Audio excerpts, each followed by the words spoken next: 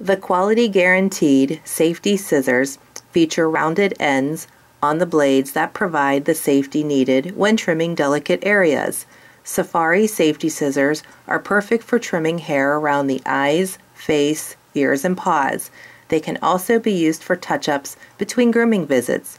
The ring finger hole comfortably positions the hand for accuracy, control, and smooth, clean cuts.